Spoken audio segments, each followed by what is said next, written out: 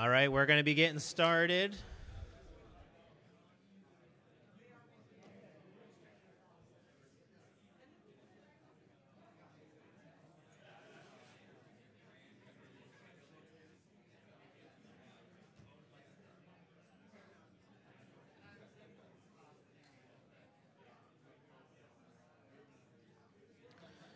All right, everybody. So I hope you listen to me and are sitting somewhere different where different people. Ideally, you are doing that. Um, it's hard to meet new people. I understand that. I'm, that's why I'm so happy that I just stay up here all day and let you talk, and I, I don't necessarily have to have conversations. I would. That came out really badly. I would love to talk with all of you. I'm just I'm I'm introverted, so it's a lot takes a lot of energy to do that. Um, all right, because I put that. There we go. All right. So once again, my name's Mike. I'm one of the organizers, but I wanted to thank the other organizers who made this day possible, the Drupal Association organizers as well, but the team I work with, Megan, Beth, and Tyler. So let's give them a round of applause. They deserve it.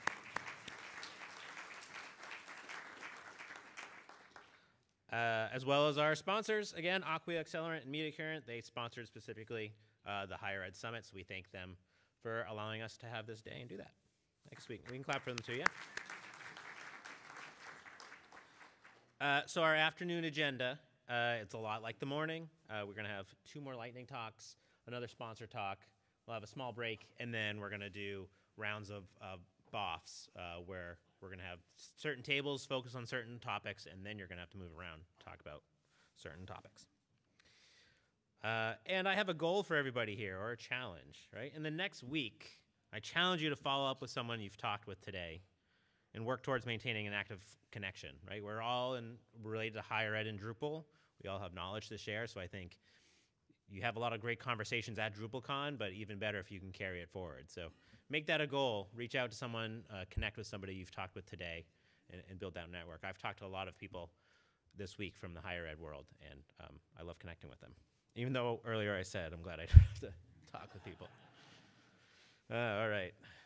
Um, all right, I told you to do that. All right, so next we're going to have a lightning talk by Adrian about how to design under the constraints and bureaucracy of higher education.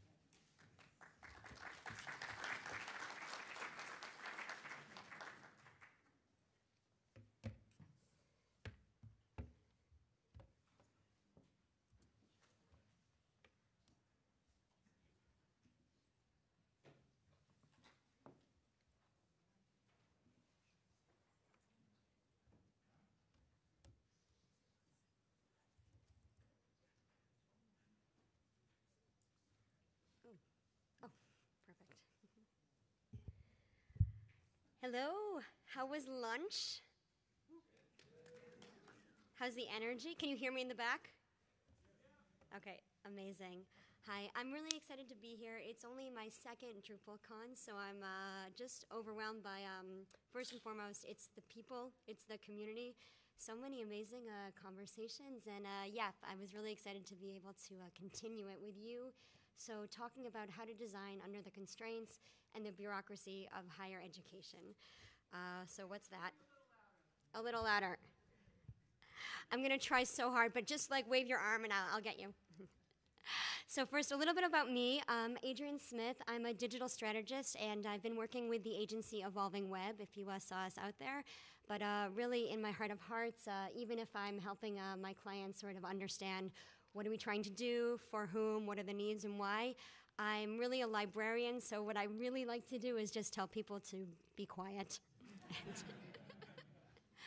but aside from that, I know uh, opinions, uh, bureaucracy, constraints, all of these sort of words, these are the environments we're dealing with, complexity, and uh, added to that, a lot of pressure to probably uh, go fast. We have academic schedules to respect. Everyone has a million other things to do. So when we're talking about website rebuilds, website redesigns, how can we really get it right, knowing uh, that yeah, these are the sort of um, uh, the obstacles we have to deal with. So uh, when I'm working with clients, I'm really intervening a lot in discovery. While I do user research, I do a bit of user experience discovery work.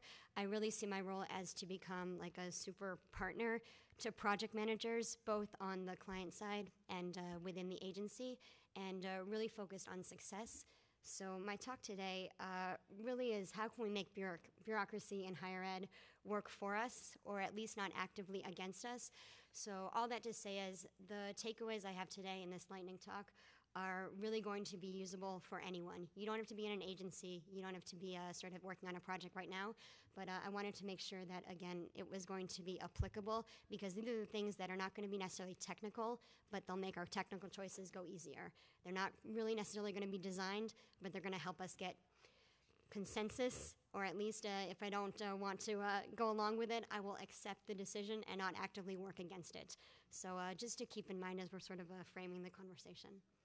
So essentially, ignore them at your own risk. And uh, what I love to do, uh, because uh, my background in uh, library information studies and knowledge management, I like to share failures. I don't even say lessons learned because that's a fancy way of saying uh, we failed, we messed up, it didn't go well. How are we going to do better next time? Because I know higher ed isn't that kind of the point, too. So, without further ado, the first one is what I call armchair psychology. Do you ever feel like when you're going to work, maybe it's a Monday, and uh, you have that colleague who you're sort of their uh, their mental health friend? You can just sort of vent, you get it out. Uh, work is hard, life is hard. There's a lot of stuff. But uh, really, uh, what we found in doing discovery work is that, frankly, it's often even better to start with what's called pre-discovery. So I sort of frame it as uh, saying to the client, "What's keeping you up at night? What are you afraid of? what is your boss hoping to get from this?" And uh, the one example I wanted to share was a client who, every time we presented uh, the results of a questionnaire, the results of a mapping workshop, they were constantly poking holes in our data. That's not how it is. I don't think this is going to be right. This is going to work. And at a certain point, we had to sort of look at our working relationship in the project and say, are we on the same team here? Because I felt like, uh, you know, every step forward, it was three or four or five steps backward. And I just felt like we were at a logjam, even though we were doing the work, we were delivering the things on schedule. So, really able to take a sort of a step back, step into my armchair psychologist role, and sort of say, uh, what's going on with you? Uh, what's your boss asking you for? Essentially, how can we help you make good, uh, assuage some of these concerns, or uh, really uh, put our finger on what wasn't working? What came out of that sort of difficult conversation, but I'm really happy that we were able to broker it, was that the senior vice president was obsessed with data. If there wasn't data, they wouldn't even listen to it. It was just, uh, yeah, not going to be accepted. So every time uh, we sort of presented results of a more qualitative questionnaire, a mapping workshop where we're sort of working with smaller groups, but again, the insights are far from completely representative. So in this case, it was having a more and a more reliable data that, uh, in the eyes of this project sponsor, said, okay, I'm never going to get to the next milestone if I don't uh, really uh, back up our findings, why we take this strategy or these recommendations uh, with the data. So that was really sort of the aha moment, and we said, great, we can help you with that. And we really uh, worked hand in hand with the client to do uh, that sort of uh, additional discovery work that at the end uh, made it so what we finally came to that famous uh, presentation with this guy. I think everyone was super quiet on both sides, and we're all waiting for the, the famous question what is he going to ask? And to our, I don't know, surprise, horror, a mix of both, the question never even came. and so we were sort of thinking, wow, that was a lot of investment, but uh, at the end of it, uh, it was also not just a turning point for that deliverable, but in the life cycle of the project overall we had really established that sort of a foundational trust that uh, took us from being a bit more, not enemies, but a bit working against each other, uh, having a lot of conflict, to just uh, really being able to say, hey, this is what I need, this is what's going on for here, uh, what are we going to do to address it? So it was really, um, again, a useful lesson. And uh, after learning it more or less the hard way with one client, I had a great opportunity to do it the right way from the beginning with a second client who came to us saying, look, our website is a mess. We whipped it together during COVID. It really reflects uh, the organizational flux we're in. Departments are merging. Some people are unhappy about these changes. Uh, it was a site where I had never seen so many first level navigation items. And so I said, great, that makes a lot more sense now to me. But uh, what this actually helped us do was really formalize it. We had our RACI, but then we sort of had the, uh, like, it was the VIP RACI, in which uh, our client very helpfully said, this person is really loud this person likes to think their opinion will count more, but maybe it shouldn't. this person is worried about this. So just going into those engagements, knowing a bit more about the sort of what's making someone tick, it's always trying to understand uh, what's going to be behind a certain piece of feedback, and it can really help us better prioritize and then also work to address because at the end of the day, you want to build, again, consensus. We're going in the same way, so it doesn't uh, serve anyone to have that bureaucracy dragging you down. Uh, the next one I like to call holding up the mirror. So, how many of you here sort of use uh, user centered approaches, user centered design, human centered design? It's something that's important to us, and we know who our users are. Okay. So, for this, I think it's very uh, commendable that we put humans at the center of the experience. We have great user experience researchers and departments and disciplines. We run a lot of focus groups. We involve uh, actual representatives. And I think it applies equally to those who are using our sites on the back end. So if I'm a content editor, uh, what's the experience like for me? But uh, unfortunately, it's easier said than done to really check your assumptions at the door. And uh, with one client, we were sort of uh, getting really divergent opinions when we were surveying internal stakeholders versus actual end users of the experience. And for us, again, we wanted to really represent where are users getting tripped up. They're not uh, converting, they're not clicking on the find the registration CTA here, no one's signing up for the newsletter.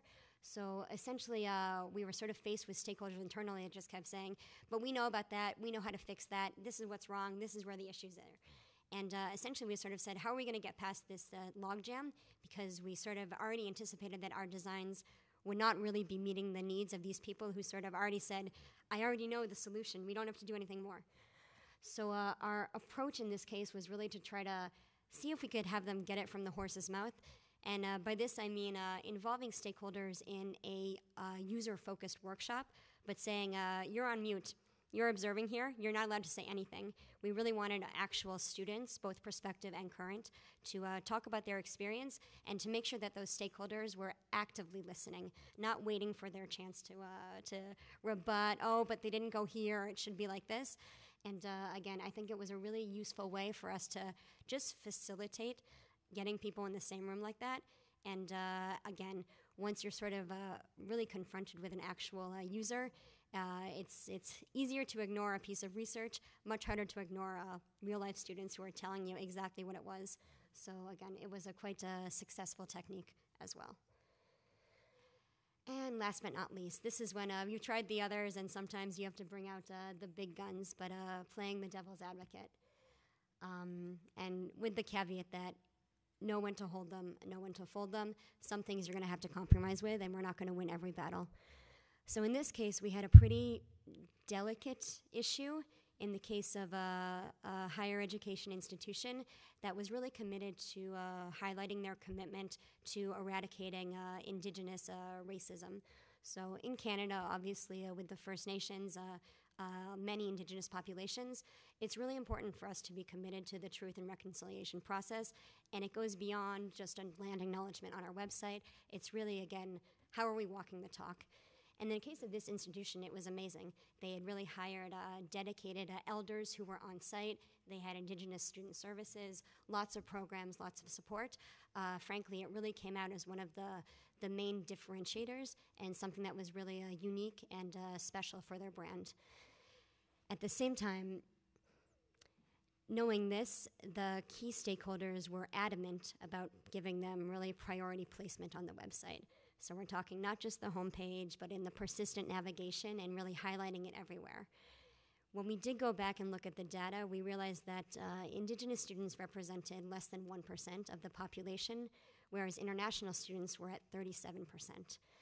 We combined that with some of our more uh, like boots on the ground research. We had talked to the coordinators, people who had used Indigenous student services, and what kept coming out of those interviews was uh, we love the services, we love the people, it's a community here, but on the website, we just feel like it's segregated. We're shunted over here and we sort of have our own path.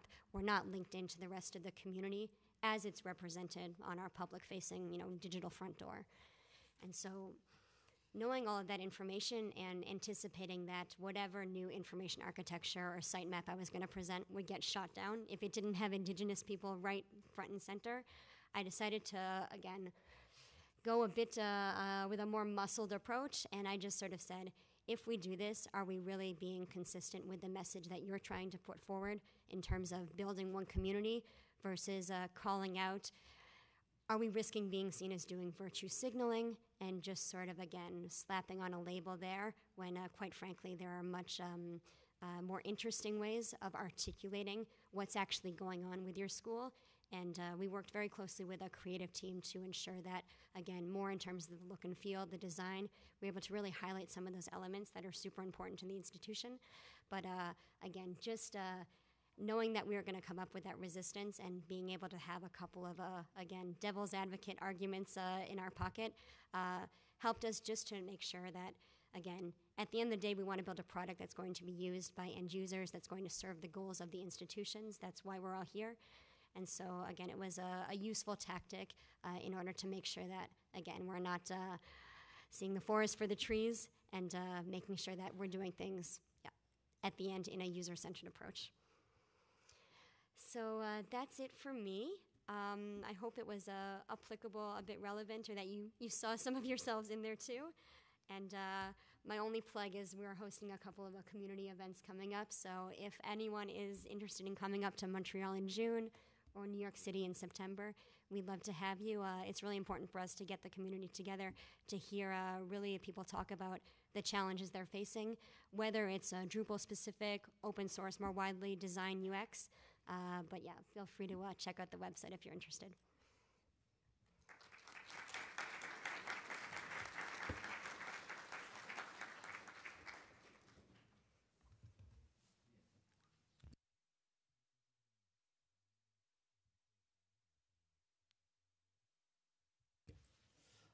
All right, time for you all now to talk about about that. Here we go. All right, I'll make it full screen. Hopefully, these are uh, as on topic as they can be. I made them big, so go. Talk about design and UX constraints in higher ed.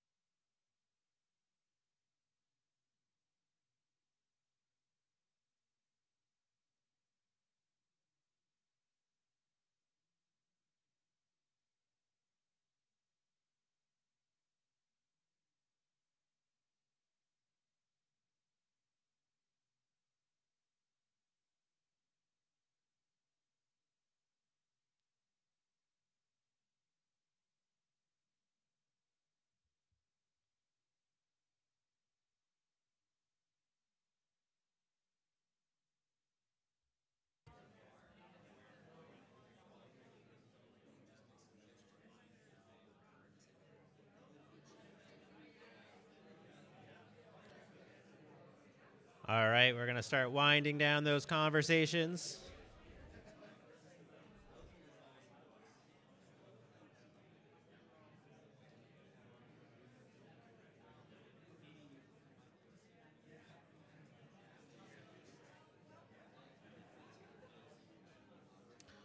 We're going to start winding down those conversations.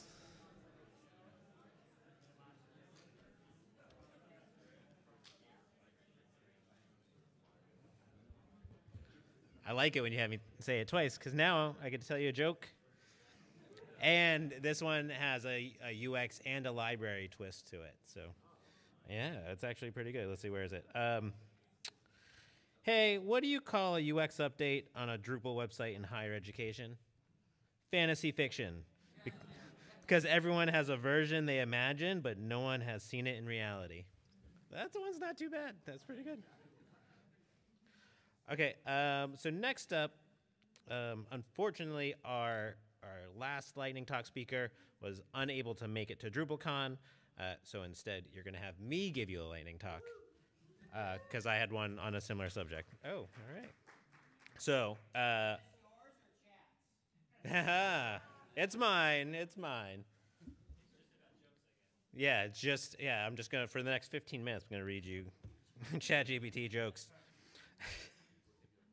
yeah, what could go wrong? Um, but I will say, so I like I said before, I like to run a tight ship. So this is for all of you. Now you get to pull me off stage if I run over. So I get 15 minutes, and that means I will be done at what's the time? What's it? Uh, I'm scheduled to go to two.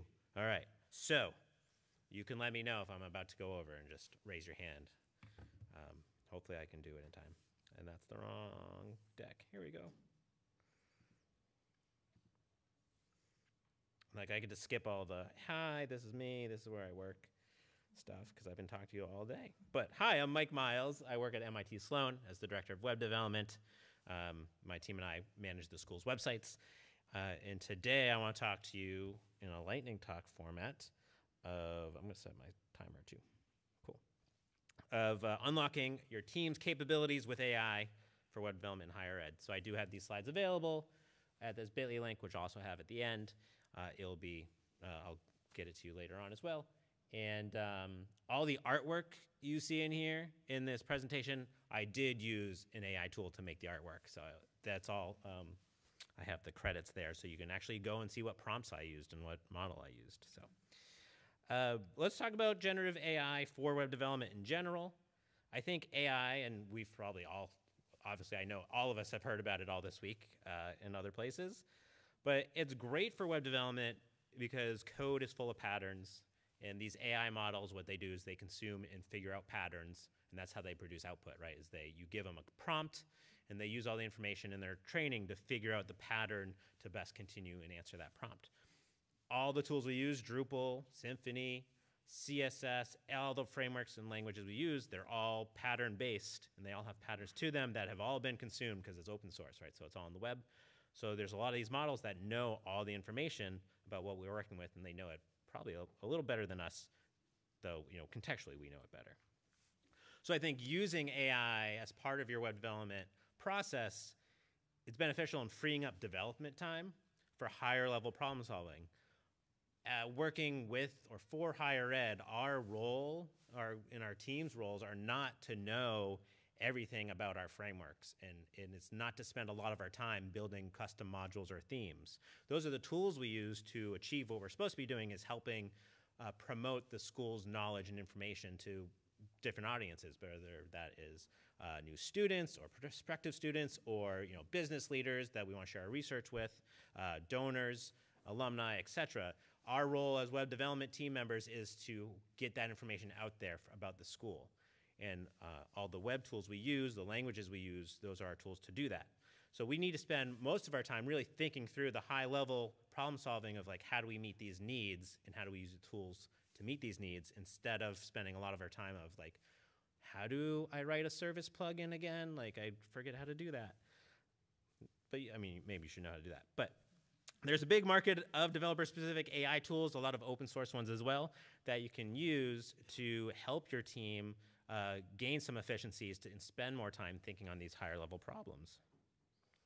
So I like to think of AI as it's coming along to be a teammate, not a replacement for the people on our teams. Don't look at the hands in this picture.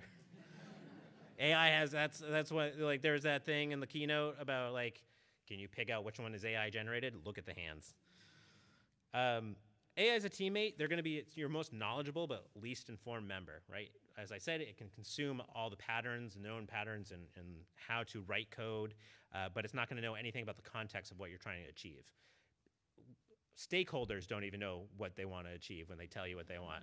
so for an AI, like, and, uh, and I try to tell people, like, yes, an AI is going to give you exactly what you ask for, but as we know, working in development, what people ask for is not what people want. So it's going to know how to build the things. It's not going to know why you want that. So that's where it's a teammate and it can build off that process.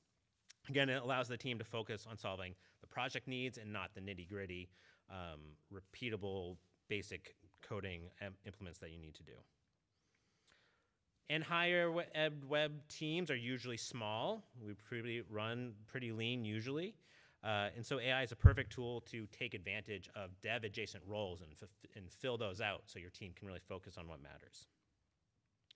So some of the roles I see AI playing is a rubber duck. How many heard of have heard of rubber ducks for development, right? That's when you're stuck on a problem and instead of working it in your head, you talk it out loud, either with another developer or with a rubber duck on your desk or with an AI tool. So I think the benefit of having to explain technical challenges to AI tools like say even just ChatGPT or Microsoft Copilot or GitHub Copilot, it helps spark new ideas and approaches to problems because with these tools you can ask them like, "Hey, I'm stuck on doing trying to solve this. Give me three options for how to do it." And it can give you ways you wouldn't even think of that you can then explore further. Having to know how to write conversational prompts, right? Uh, AI tools that use prompting for, as I said, it's going to answer your prompt, so you have to ask it the right thing. Being able to articulately explain the technical challenge you're running into to an AI is a really good um, skill to build up when you have to explain technical things to stakeholders or less technical people. Uh, on the other side of that, if you're, say, a project manager, you're a less technical minded person, if you want to make sure you're explaining things uh, in a more technical way, working with AI and saying, how would I say this in a more technical way could help with that as well. So I think uh, working with AI as a rubber duck helps you get better explaining your technical needs or challenges. Some tools that I like using for this, phind.com, which offers code suggestions and even a pair programming capabilities, and it's all an online interface and it's free to use. Uh, I think they have a paid tier. And Uizard is an AI tool you can use for rapid web uh, or mobile UI prototyping, from prompts or sketches. So this could be like you're having a conversation and you're sketching it out, and you could show it uh, to this tool, and it will make a, a UI prototype, which is really cool. Obviously, you have to tweak that some. AI can act as a reviewer on your team.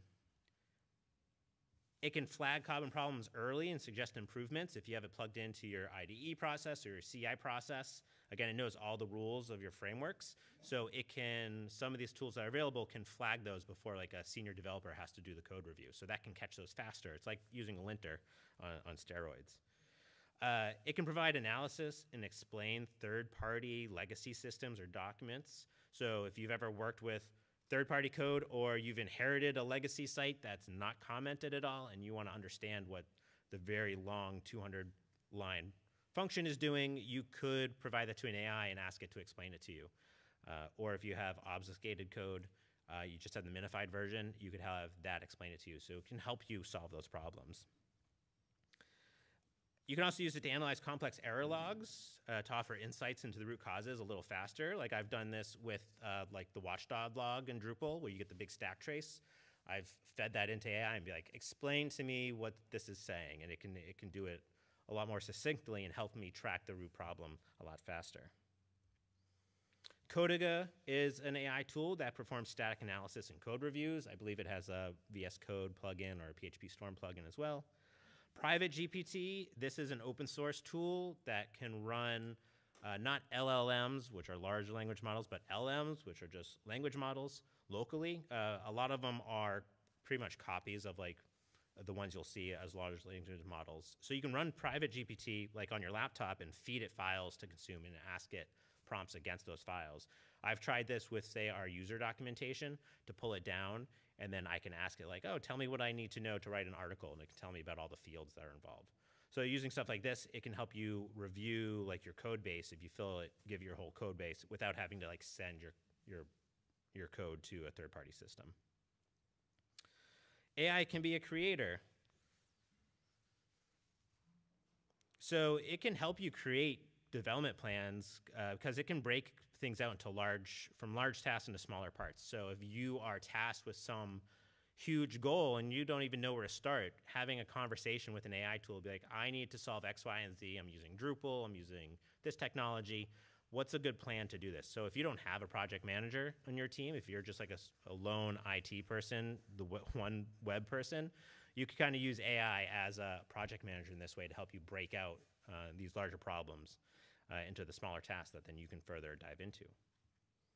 It can suggest code and generate code documentation. Uh, my team, we've been playing with uh, GitHub Copilot for doing this, so we can prompt Copilot in VS Code, like I need a function that does X, Y, or Z. It can generate that for us. Or we can highlight our code and be like, can you help me write useful code comments for this? And it can do that as well, which saves us time and makes sure our code is well documented so that later on somebody doesn't have to take our code and give it to an AI to have it explain what it's doing because our comments tell it what it's doing. You can also use it to generate realistic data, content, and images for use in lower level environments. So, if, say you're dealing with, uh, you know, um, student information that's very sensitive that you don't necessarily want on just a developer's laptop, you could use some AI tools to generate content that is very similar in structure and matches the structure of that student data and populate your data. But You could even ask it to write it as a SQL statement, and then you can inject that into your lower level environment instead of copying down that private data. GitHub Copilot is a great tool uh, that I've done work with for code generation. Cody.dev is a version that's really good as well. It also has a, a local a version you can run locally, um, so it's and I believe it's open source. Uh, so they can analyze and suggest code and generate code documentation. ChatGPT, GitHub Copilot, I think we're familiar with these tools where you can prompt them to create that fake content. Like you can tell ChatGPT, make uh, write me a bad joke, or you can say, you know, write me um, a, a, database query to fill out um, users. So let's talk a little bit about Drupal and AI. i am I'm sure most of you have, have gone to at least one talk this week about Drupal and AI. There's a lot of great stuff out there. Um, to have AI help with Drupal projects, there's already over 150 modules that have AI integrations. To what degree that is, I'm not sure, but you know, this is something that the community obviously is moving on, uh, moving with, and it's something that you can embrace in all your projects. Uh, I want to give a shout out to the Yale Sites team. Are they here? Yeah. Hey, with uh, your chatbot thing, that was a really cool presentation. So I was already like, oh, how can I do something similar? Um, there's the Drupal OpenAI integration module that has a bunch of submodules like the OpenAI Devel, so to generate that realistic dummy data instead of lorem ipsum. Uh, you can reduce the effort on content editors by providing alternative text for images using like the automatic alternative text module, which I believe analyzes the image and generates um, alternative text for the image. So that could save uh, work on your content, content editors so they don't have to come up with that, but then you can still be, you know, accessibly compliant. Uh, and uh, there's uh, like other tools like the Drupal Droid, which is a ChatGPT agent, where it's tuned to be prompted for Drupal-related questions. So you can say like, "Hey, how do I write a service?" And it it's already knows you're talking about Drupal and Drupal 9 or Drupal 10. It'll do that for you. Plus, there's a lot more things with Drupal that um, you know I've learned more about this week. I'll be honest. Uh, all right. And some considerations when using AI, though, because right there's a lot of um, gray areas. Models only produce output that look correct. Luckily, when we're talking about it from a coding perspective, it works or it doesn't. But there's, you know, in the keynote, there's talk about how just because it produces something that works doesn't mean you should fully trust it because it may not be secure. Um, also, AI generated content is not copyrightable in the U, at least in the US. I think for us working in open source, it's not that big of a deal. Or, you know, that's not as much of a challenge for the work we do. But if your code base, for whatever reason, is closed source and then you put AI generated code in there that's not copyrightable, what does that do to your legal concerns? I have no idea. I'm not a lawyer. So talk to your, your lawyers at your campus. Uh, and then data you provide to third-party systems could be used for further training. So if you're worried about, you know, um, sending up your code to, say, ChatGPT uh, or your documents to ChatGPT, and that if you're not paying for it, you're not opted out of it being used for further, training, just know that that could happen. Uh, so you want to be concerned about that. But there are open source and local versions like LM Studio, Twinny, Cody.dev. These can all be run locally in development environments, and they all have plugins for your IDEs. So it may be a little memory intensive on your laptops, but if you didn't want to send anything to third-party systems, you could run them locally. Uh, so I'd recommend, though, talking to your legal team or um, you know your IT team, whoever's writing the guidelines. Hopefully, at your institutions, people are writing guidelines for how to use AI. Uh, on what you can and can't use and what you should think about about the data you have access to. All right, so my takeaways here. Generative AI, I believe, can free up time for higher level tasks, so you're not spent on the nitty gritty and you can really solve the needs of your, your institute. Discuss with your team which AI tools are best fit for your needs, right? Every team's different. You have different set of skills that you may want to augment, so look to see what's available for that. And then be cautious and verify the output of generative AI whether that is code completion or bad jokes. Um, make sure it works and it does what it says, and, and, and, and still verify it. Trust but verify. Or don't trust and verify. Um, and then confirm the rules and regulations of your institute on what you can use for tools and what you're allowed to do. If your institute is working on these guidelines, hopefully they are, uh, so that you can make sure you're not going against them and you're not using um, tools that you're not supposed to and submitting your data places you're not. Like at MIT, I know we have uh, an agreement with Microsoft, so we all have access to Microsoft Copilot, which is great, and we know they're not going to train use our data for training it. Uh, and MIT is happy that we use that. That's it. Oh, 21 seconds. Yeah. Woo!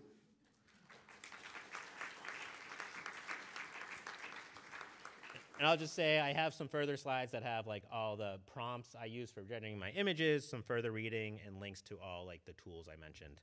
And then you get there. So now I'll put back on my MC hat. And I have some questions for you all. Cool.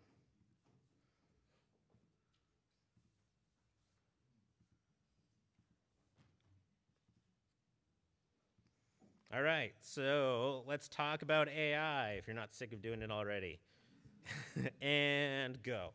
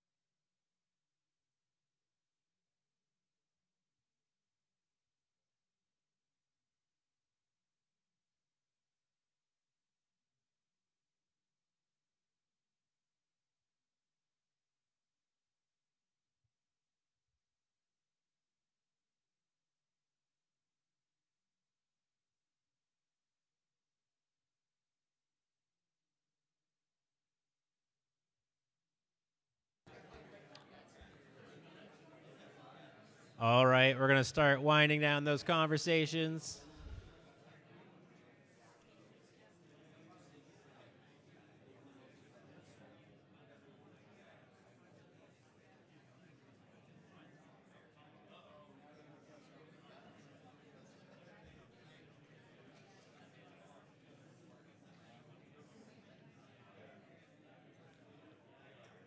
All right, we're going to start winding down those conversations.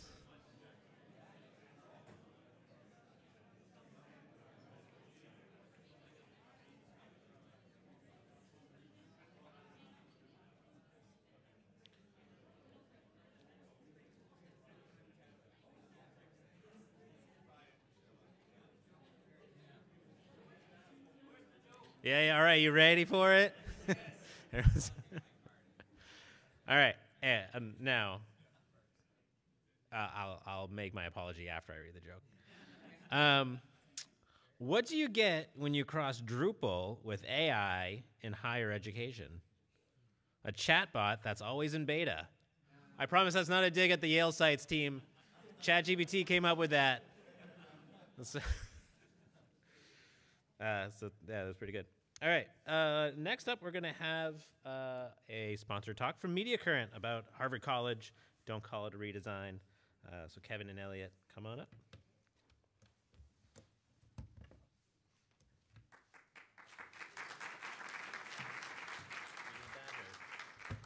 yeah.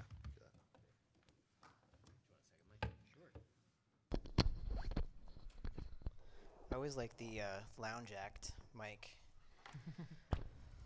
just step out in front.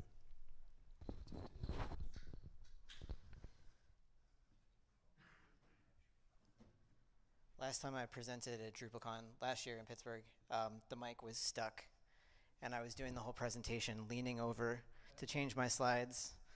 It was not great, so hopefully this time will be better. I think you're good to go. So we Okay, got that. cool. Quick Um, and easy. Yeah. so we did this as a lightning talk in lightning time two days ago. uh, so we're going to speak a little bit slower. Um, and we also changed the title a little bit, but Kevin and I are here from Mediacurrent to talk about how we believe the redesign is dead. And we're going to share a little bit of a case study that we did, a uh, project that we recently did for Harvard College that we think helps to prove our point. But we'd also love at the end to get uh, some questions and hopefully answer those questions. Um, so I'm Elliot Maurer. I'm the managing director of Mediacurrent. And I'm Kevin Basarab. I'm our CTO at Mediacurrent. And uh, between the two of us, we've got a lot of different design experience and lots of horrible builds under our belts as well over the years, but also a lot of the iteration and building portions forward and supporting and optimizing and all those different pieces from journalism and products and big physical spaces. Yes, we do. Um, so when we were putting this uh, presentation together, we took a look at the RFPs that we've received over the last 24 months. Um, some of which, I don't know, there's not not a real focus on uh, higher ed in this one exactly. A couple university centers, but um, we took a look at the RFPs that we received, and as time has gone by, we have seen these RFPs become more and more convoluted they become longer and longer and longer. We got one just the other day that was 209 pages and that was supposed to be submitted uh, with three USB flash drives that we were just supposed to mail to the government. Um, I don't know how many of you have done that, you know, annual like IT training that says if you get a, if you pick up a flash drive on the ground, don't plug it into your computer. Um, the government does that. so it's it's truly bizarre. But what we're seeing in these RFPs is that they're they're pages and pages and pages of requirements with no context. We do not know where these requirements are coming from. Uh, when we have folks who are, are moving still in the world of Drupal 7 to Drupal 9, it's here's everything that my Drupal 7 site does that I would like a new site to do in the future, and this site was, oh, by the way, designed 10 years ago. So we took a look at these. We're seeing an average page count of 87, which is still ridiculous. Um, and we're getting less and less context and more and more requirements. And nobody wants to tell us the budget, ever. Like, You know what it is. You all are ex- aren't, aren't excluded from that either. it's just as bad. we would love to know just a general, you know, rough order of magnitude because it puts us in a position of having to put a number out there and be wrong most of the time in a direction that is either beneficial to you and horrible for us or great for us but means we don't actually win the project. Um, I pulled some Q&A responses from some of those RFPs, and as you see, um, a lot of them ask us to submit a complete budget, uh, a level of detail that is, in my mind, ridiculous, with no information. So provide every line item uh, uh, thing that we've asked for um, down to the cent, and we will provide you no additional information. And if you're wrong, you'll never hear from us again. So that when we, we move forward in those projects, we have to put together these timelines that often look like this, uh, where they're very waterfall, they're very long, in my opinion. Um, you know, oftentimes we're looking at. I don't think a website should take longer than six months, but we're looking at, at timelines that are generally 12 months, 18 months, 24 months. And that's ridiculous because we know that even the conversation that you all were just having about AI, we know that 12 months ago, we would have had a completely different conversation. So, what is the conversation that we're going to be having 12 months from now? And are we building the right thing? We start these projects off, and even when we do a discovery phase, or as we call them, the define phase, we think we know, and you think you know, but in reality, we have no idea.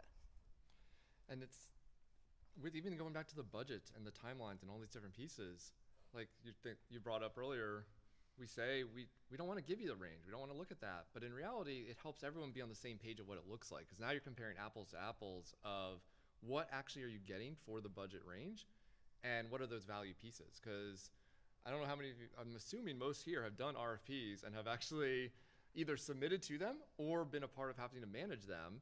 And often what you list in there is just the kitchen sink, and you know you're not going to get everything. So, how do we start to pull these things together and actually prioritize and think about things in a way that makes sense for the long term of the project and actually more in what we always talk about of an agile way versus really a waterfall direction. And a lot of those different things that were seen in those RFPs make me think often as like just a developer nerd in the past, but also just food and TV and consumption. How many people have known like Alton Brown and his hatred for single use kitchen gadgets and how many things those are? We're both in the New York City area. There's not much space in our places and rooms, and you have to be really specific about what you're actually using, what you're actually putting into your house, or when you're having to move, how you move all that stuff over.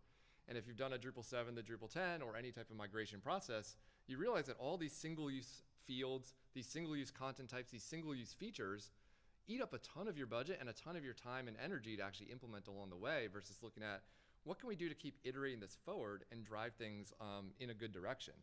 Most of these may not actually have a real use case in your site. You do it because 10 years ago we did it and now we have to keep doing it and it's just passed down and passed down and passed down along the way. Most of these features or a lot of these features and hopefully this isn't a quote from one of you, but, um, but were prioritized or made specifically because of internal politics. And we all know in higher education, navigation structures, is that speaking to our audience or is that speaking to ourselves? our searches? Are we looking for just that faculty member that needs to find the way that they, the one report they have that no one else searches for, but they they run it that way, and this needs to come up in our search results? How do we look at all these different things, and how do we speak to who's using our sites and the different audiences that are coming into those situations? So it leads us into the spot of prioritization. It leads us into this conversation of once we win an RFP, or once you're working in the results of an RFP, or any build in general, if you didn't RFP it, how do we prioritize throughout time? How do we think about which feature is more important, feature A or feature B? And how do we talk about that internally? But then also, how do we know that we need both of these all the time? Like there's some reason typically there, and there's a reason that it became a requirement. So we always know that there's always something more important and there's always something else out there. And once we continue iterating forward, no matter how good we did a requirements, as soon as we launch, that site is old and it needs to grow and change again. And you're going to uncover new features that you didn't think about that now that you're live and in the in the space are going to actually start having to leverage and implement. So oftentimes that looks a, a little bit like this. Um, our users, both our end users, but also the the folks who are using the content management system they want something that's super simple. They want something that has wide utility that provides them a lot of value and instead we give them everything and it doesn't work. Or it's things that we thought were going to be useful but we've never touched. So how do we get to a place where we're actually building something that is simple broadly useful and allows us room to expand. Maybe we get to the crazy pocket knife on the right, but we start out with the one on the left, which is the superior product. Even when you're doing that and you get to that, if you build this crazy pocket knife, you often don't realize you're doing it in Yeah. the moment until later on. And I think Mandy was bringing this up earlier as we're talking about like the training and documentation pieces is how do you make something that is self-training also? And you, it's just makes sense out of the box and you're starting to understand how to use it. When you grab a Swiss Army knife like this, you know pretty much what to use on a base level. When you get into the right side, what are you doing? What is this? And we don't realize at times until we look back that that feature we really wanted or really needed is actually the thing that we don't like and end up meaning the thing that we really don't like our website about, but we made that requirement ourselves. And how do we like take that step back and think about what is really needed here? So all of these things give us some really bad math. Uh, we have expanding scope, which has implications on our timeline. That leads folks like us to dangle the horrible phrase of change order. Um, and that just leads to frustration um, for all. So there has to be a better way. Do we really need to blow things up and start over every time we want to work on these projects? And if you are still here and still paying attention, you could guess the answer to this is no, we should not and should not be thinking about it. And instead, we should probably be thinking about renovating that house on top of the quote good bones. Again, TV show references, which I don't watch TV that often, so I don't know why I threw them all into this presentation. Um, but on top of the good bones and the solid foundations of that foundational house that we have of, of our websites and our experiences, and we take that large capital budget for an RFP, we iterate that and invest it iteratively over time and continue to improve and improve and improve, and do these small components, features, developments that are continuing to make our sites better and better and better. What if we actually did agile? What if instead of a 12 month project that has a big launch, big red button launch at the end of 12 months, we had a set of four smaller launches that were still uh, significant? You might still be skeptical, and now we're going to transition into the part where we tell you how this works. so we just did this project for Harvard College, and uh, for those who do not know, Harvard College is the undergraduate admissions arm of Harvard University. They over also oversee financial aid.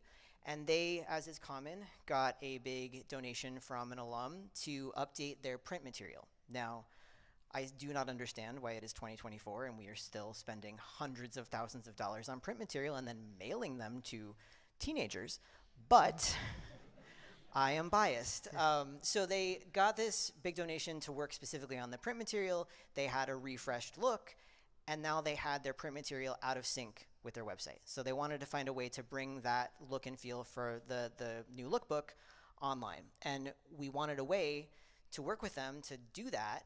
But we didn't have, they didn't have a donor who was standing in the wings saying, hey, I'll give you, you know, another six figures to invest in putting this online. We had to figure out a way to work within their budget to do that um, efficiently and economically without starting from scratch. Not even with even just the budget constraints and things there, but they like their site. They like the Yeah. user experiences. It's been live for three or four years now, I believe, at this point. And it's something that they went through that pain of building a site that all of you have experienced and gone through the launch and the pains and trying to get out of that beta mode and looking into the spot of, okay, we, we're comfortable with how this works. We don't want to rethink and have to prioritize again and go through all that stuff we talked about earlier. But we want to actually leverage and continue building off what we have, but make it in a better way. So we looked at a timeline that basically took us from you know start to launch in the most maximally uh, efficient efficient way possible. We didn't want to skip any steps because looking at a new print look and feel, we don't want to just copy and paste that online. We know that print design does not automatically translate to the web, even though for some reason in the higher ed space, y'all are still trying to do that. Um, so we have to look at a way to take something that works in print and we have to bring it to life online. We also really wanted to find a way to express the college's desire to convey a more accessible and inclusive Harvard. They, um, you know, folks have probably heard about this, but if you come from a family at a certain income level, you can go to Harvard for free. So they wanted to find a way to create a, a digital experience that conveyed that accessibility, conveyed that openness, and kind of turned the volume down on what it means to be Harvard, but still Harvard. It's one of the most recognizable academic brands, if not you know brands in the world. And so we created this concept of it's not business casual, it's Harvard casual. It's Harvard, but it's in a more accessible, casual, friendly kind of mode.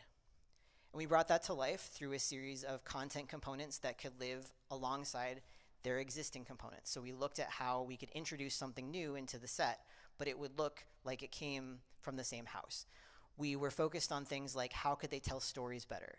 we introduced a component to bring TikTok, love TikTok, um, bring TikTok to the website, but bring it in a way that isn't doesn't feel like what I like to call the hello fellow kids way of bringing social media online. We wanted it to feel very natural. These are teenagers who are coming to the site, sometimes by themselves, sometimes with their parents, and we want them to be able to consume the social content that Harvard is creating, which is really great content in a way that feels natural and doesn't feel like we've just copied and pasted it from TikTok and tried to put it in a, a format that doesn't work we wanted to look at ways that we could express the story of Harvard being more accessible for students.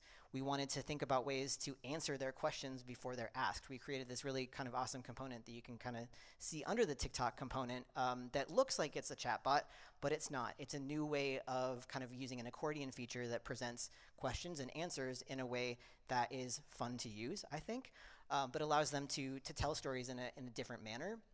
They also had done some new uh, photography and videography that they wanted to bring onto the site. And that oftentimes, like beyond the, the UX or UI design, the content, the videography, the photography, that's where the storytelling really lives and that's how it's expressed. And so we wanted to have new components that could bring those new pieces to life online and really make them sing the photography, we, we have to do that on the websites. We have to see that, and we're often just given it. We're, we're often not in a position where we can actually go out and create it. But what all of us can control, and in the remote culture and, and remote areas, I don't know how many of you are working out of your offices on campus, or for the agencies, you're all probably remote as well. But how when was the last time you went on campus and walked around and experienced what campus was like? Gone and taken a campus tour, gone to look at different things of how are you talking about our own, how are we talking about ourselves? versus in our insulated uh, spaces go out and experience what are people seeing when they get their first touch to us and how do they experience that? And how can we take some of those experiences and bring that to the websites and start showing that to our prospective students and users? And that translates over into donors and everyone else along the way too. I've been on more campus tours working at an agency that works on higher ed than i did when i went to college. It's fascinating. And even when you have all those great designs and great things that come together, you still need to make a simple editorial experience for things. Um, our scope here was not to reinvent and make the most beautiful changing editorial experiences. We wanted to build on top of what was already there. It's a paragraph based approach. And when the client was talking to us about, hey, how are we going to do all this? This looks really great. I love how it looks. Like, how are we actually going to implement this and actually make it work? Well, all these components, except for some of the newer ones that were generated, they were all refreshes of existing things that we were iterating on, adding a field into, or reusing fields in different ways as we're, we're looking at those instead of creating these new single-use fields. We could have went through and taken some of these slideshows and homepage heroes and different pieces and said, all right, here's all the new fields for the new design and go copy and paste all your content in. Instead, we looked at some pre-processing. You add a little technical debt by doing this, but in the end, everyone has technical debt. You're always going to have something there. It's how you deal with it over time that really makes a difference. And we changed that into just a simple toggle, a simple Boolean of let's add in the 2024 design. We want to switch this over. And now for the editors, instead of having to copy and paste and do everything on the site, just go into the interface, click the button, and now this component is into the new design. Another component on the page can be in the design, and time and time again, you're starting to build this entire new look and feel across the site without having all that pressure and pain of migrations and moving things and all the editorial pieces that come along with it. Now, are there changes that need to happen? Yeah, there's some things that need to happen. There's some new things that come along with it. The FAQs you saw earlier, uh, those need to be adjusted some, and there's some new fields that get added in. But we can add that functionality in, and we're now building on an experience versus creating a brand new experience. Um, New York Times, I come back to all the time from journalism background, that they will never rebuild a site. They will always take a piece, tear it down, and rebuild that little portion of it. And tech debt's terrible because of that, but but they're very open about how they do that, and then they test it, A/B test it, and think about things and what is working, what's not, and how do we continue to grow these things over time. And before you know it, you're into a new uh, whole section of the of the site. So we were able to go from this design concept of Harvard Casual into production within 90 days for the first seven components, Something like that, five, yeah. seven. Um, but that's that's not the end of the line. We're continuing to work with them to bring additional components into the system. We're looking at things like now that we've made all of these changes, and we're seeing how they settle and how how new users interact with existing with some of the new components. We've introduced some new wayfinding components that I meant to put a heat map from Siteimprove in here, but we're, we've seen just this you know light up of people actually interacting with the navigation concepts. Um, how can we rethink the global navigation to make it more intuitive and more useful as a separate piece so we can evolve that as the site continues to evolve? Yeah, so for those that started multitasking or do the multitasking, we'll give the uh, TLDL of too long don't listen, but being curious about what all your clients and your, your teams are looking for, being curious about what can we actually be doing here versus trying to just pigeonhole ourselves into doing all the things just because it's a way of doing it. Um, looking at avoiding single-use everything, um, what can this be globally used for? How do we think creatively about our content production and the reuse of things so that we can make bespoke, distinct experiences through our sites, but not be in the spot where we got a thousand different things to learn and different um, flow charts of like if-then statements of what shows up where and what you chose this and this other thing happens and all this kind of things we need to train and think about. And then look at the highness of remodeling versus rebuilding and continuing to drive in that direction to actually remodel what you have and make something new.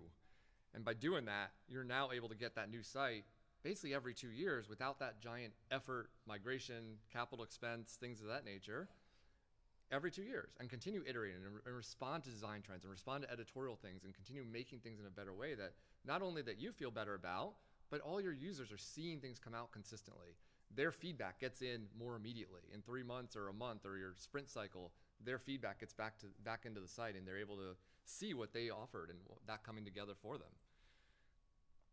That's Makes it. a good That's all time. we got. um, but yeah all that uh, i'm just rambling at that point but that is our That's it. Yeah. speech. So the question becomes we have any any questions? We have time for questions. I know this doesn't really work on Drupal 7, so that's the that's the one question that probably comes out in the caveat of how do I do this then? But we you do could have ideas for that. you could take some ideas and, and make some pieces start moving Yeah. forward all the way in the back.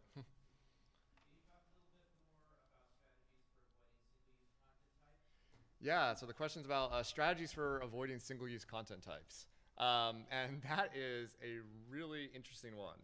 Um, oddly enough, I've seen a little bit more prevalence in leveraging single-use content types now, strictly from an editorial experience perspective, but reusing the fields and the editorial experiences within those to make it really make sense to an end user and not get ourselves in these weird technical debt situations.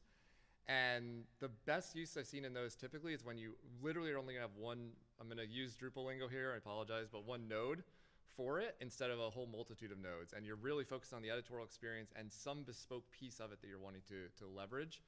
Um, where I also see it, I- mean, the TLDR on that specifically comes down to editorial experience and simplification of it. So what has happened in a component-based world is this landing page content type that you try to do all things in that one content type for everything else. Whereas sometimes you want to have very core systematic metadata and fields that are reused on all your content types on, on that landing page, but then your content might change or what you put on that page might change, or there might be some specific use cases that make this stand out a little bit more. Um, but you, by doing those, you get into these if-else statements. So take a step back, think about what is the end goal of why you're trying to go into this new content type or have a single-use content type, and determine is there a real business case there, or am I doing it just because it's uh, the simplest solution for me, and uh, I can just click a couple buttons, make a new field, and I'm done with the work, rather than what's the long-term impact of this going to be? Yeah.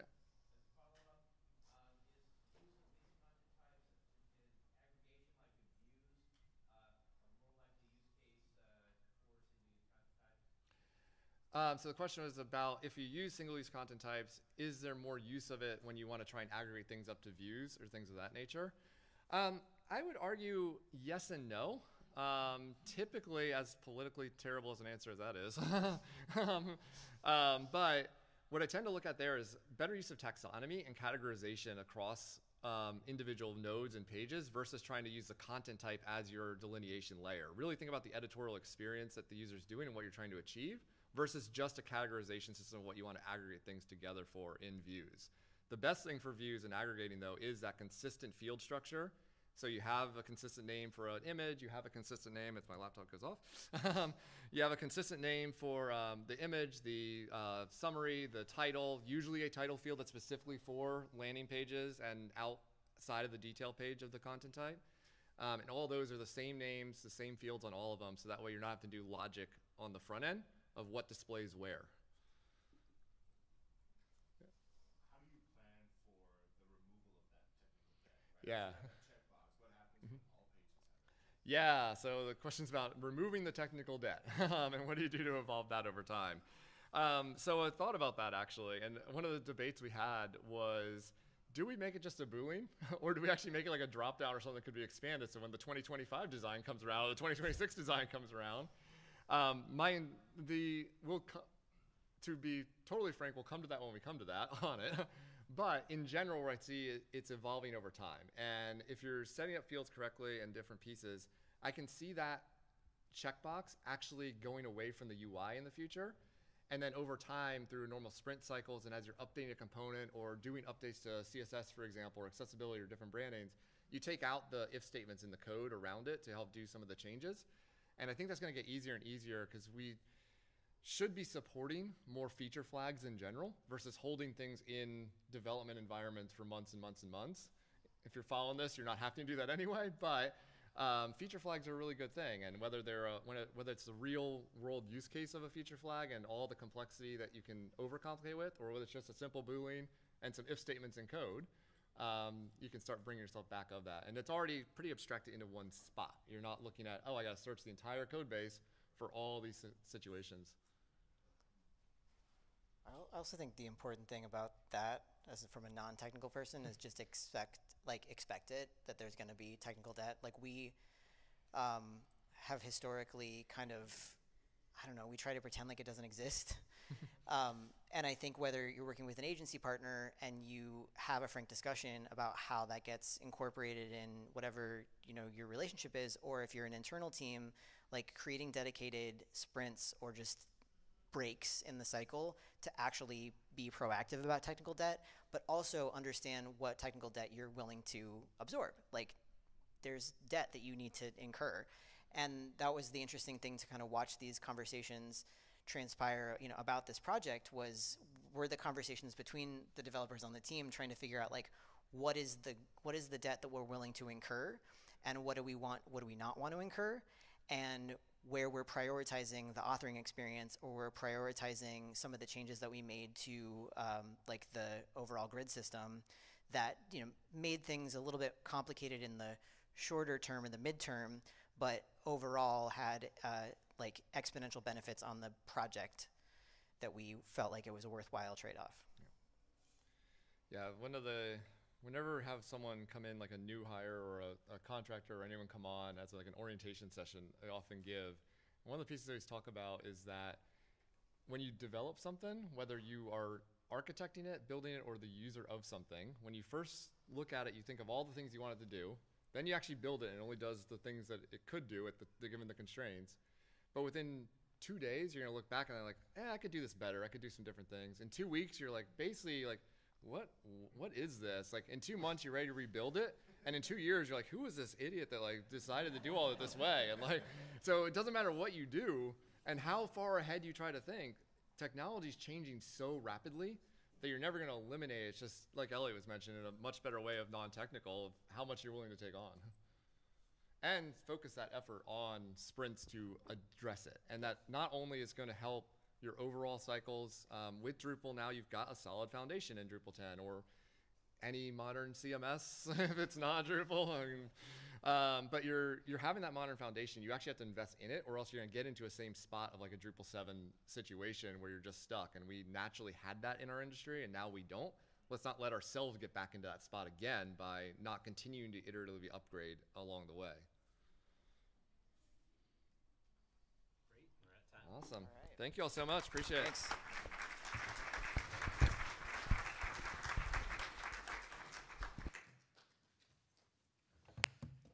All right. Uh, I'm gonna it's kind of silly that I'm coming up here for this.